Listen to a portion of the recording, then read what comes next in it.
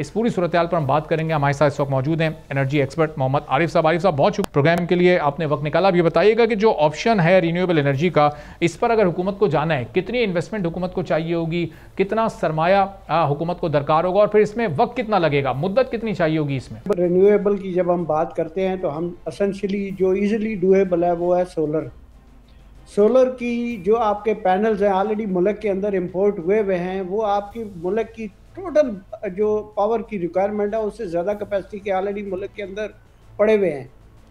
दूसरी तरफ़ मतलब एक तरफ़ कहते हैं कि ये रिन्यूएबल पे फोकस करना है, दूसरी तरफ़ रिन्यूएबल को डिस्करेज किया जा रहा है। अगर लगवाना है तो वो जो ऑलरेडी इंपोर्ट हुए हैं फर्दर कोई इंपोर्ट करने की ज़रूरत नहीं है। Investment foreign currency exchange already spend है। जो भी, जिन भी लोगों ने इम्पोर्ट किए हुए आफ्टर ऑल जो फॉरेन एक्सचेंज है, वो मुल्क की की हुई है। सो so, अगर ये करना है तो इसके लिए तो और मतलब फर्दर इन्वेस्टमेंट की ज़रूरत नहीं है। वो just simply allow them and enable them to move ahead और ये गारंटी दे दे कि जो भी लगाएगा उसको पैनलाइज नहीं किया जाएगा। और उनको मुनासब नेट मीटरिंग पे एक मुनासब जो है रिवर्स फ्लो का जो है ना मुनासब रेट दिया जाएगा। मतलब that is as simple as मतलब एज दैट इससे अलग मतलब नीयत ही नहीं बन रही। मैं मतलब मुझे जो परेशानी है कि गवर्नमेंट को बिल्कुल जो है ना, वो इस चीज़ का एहसास ही नहीं है कि ये कितने सीरियस एनर्जी के क्राइसिस हैं यू नो फाइनेंशियली कितना मुश्किल हो गया है कंज्यूमर्स को सरवाइव करना और लेकिन जो है यहाँ पे कोई प्लान ही सीधा नहीं हो रहा। तो अरे साहब, ये बताएँ कि चौंसठ फ़ीसद इस वक्त जो बिजली फॉसिल फ्यूल्स पर उसका इसार है, अगर इस चौंसठ फ़ीसद को एक साथ शिफ्ट होना है तो ये मुमकिन हो सकेगा या फिर ये आहिस्ता आहिस्ता रीन्यूएबल बिजली पर ही जाएगा, पहले दस फ़ीसद, फिर बीस फ़ीसद, फिर पच्चीस फ़ीसद, ये मुमकिन कैसे होगा? सर ये मुकम्मल तौर पर मुमकिन है। बात असल में ये है कि जब तक आप कंजम्पशन ये जब तक आप डिमांड नहीं बढ़ाते, उस वक्त तक तो ये और एडिशनल कैपेसिटी लगाने का फ़ायदा ही को नहीं है। और डिमांड बढ़ेगी अगर आपने टैरिफ रैशनलाइज किया टैरिफ को कम किया, ठीक है?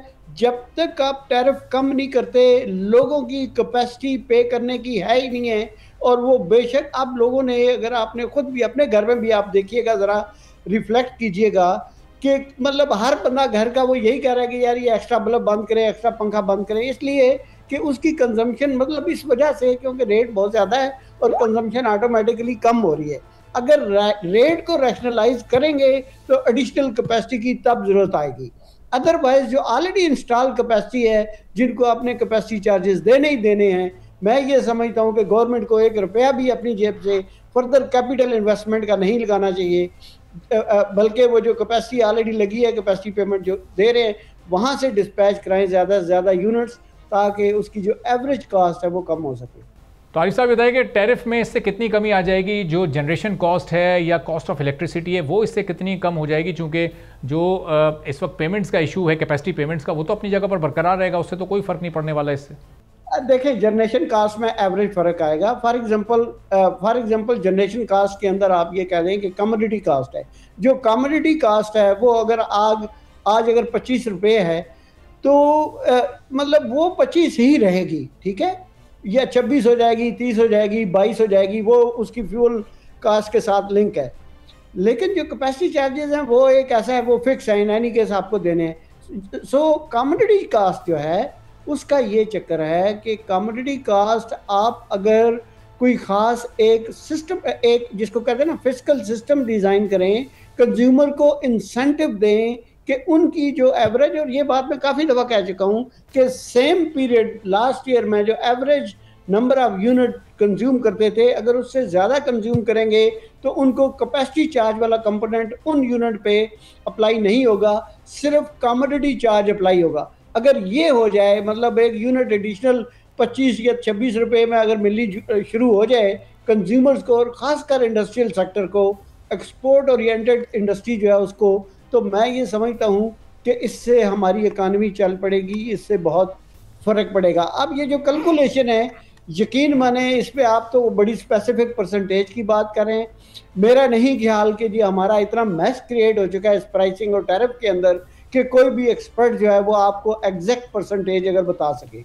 लेकिन हाँ ये बात ज़रूर है कि अगर आप नंबर ऑफ़ यूनिट बढ़ाएँगे कंजम्पशन इसकी बढ़ाएँगे डिमांड बढ़ाएँगे तो डेफिनेटली एवरेज यूनिट कास्ट है वो कम होगी। तो आयुष साहब रीन्यूएबल एनर्जी की मिसालें हमें जो दो तीन ममालिक मैंने बताया, इसके अलावा और कौन कौन सी कामयाब मिसालें मिलती हैं? हमारे रीजन में क्या इसका कामयाब तजुर्बा हुआ है? या रीजन से हटकर अगर हम बात करें, जो तरक्की पजीर ममालिक हैं, क्या वहाँ कोई ऐसा कामयाब तजुर्बा आपके इल्म में है कि इस तरह से शिफ्ट हुआ हो रीन्यूएबल एनर्जी पर और वो बहुत हद तक कामयाब भी रहा हो? हम इतने ब्लेस्ड कंट्री हैं, यकीन माने कि हमारे मुल्क का वेदर इतना, ये सोलर के लिए या इवन विंड के लिए इतना कंड्यूसिव है कि हमारे यहाँ तो मैक्सिमम सनशाइन रहती है। वो मुल्क आप देख लें जर्मनी यूके यूरोपियन कंट्रीज़ हैं, उसमें साल के ज़्यादा महीने जो है या ज़्यादा दिन जो है, उसमें तो उनका वेदर ही ऐसा वो वो होता है कि जिसमें सूरज निकलता ही नहीं है। वो फिर भी उसके बावजूद भी वो पिछले तीस तीस, पच्चीस सालों से वो सोलर लगाया हुआ है उन्होंने ये अल्टरनेट में ये वाला आपका जो है विंड टर्बाइंस लगाए हुए हैं और वो बिल्कुल सक्सेसफुल हैं एब्सोल्युटली कोई मसला नहीं है। हमें तो एडेड एडवांटेज है और हम इतने बदकिस्मत हैं कि हम उस एडवांटेज का बेनिफिट ले ही नहीं पा रहे। मकसद आप ये देखें कि मैं ये समझता हूँ कि कोई भी एडिशनल कैपेसिटी आपने अगर करनी है तो वो सोलर के पैनल जो ऑलरेडी मुल्क के अंदर आए हुए हैं अगर उनको थोड़ा सा फैसिलिटेट कर दें कंज्यूमर का एक कॉन्फिडेंस बढ़ा दें, पिछले तीन चार महीने में आपने देखा होगा कि सोलर के कंज्यूमर का कॉन्फिडेंस बहुत शेकर शेक किया गया है। ये कहा गया है कि नहीं जी, हम जो नेट मीटरिंग वाला जो है, वो ख़त्म करने लगे हैं, या हम यूनिट जो परचेज करेंगे एडिशनल यूनिट जो वापस सिस्टम में जाएँगी, उसकी कीमत जो है वो हम आधी कर देंगे, या और आधी भी उतनी कमोडिटी चार्ज का भी आधा कर देंगे।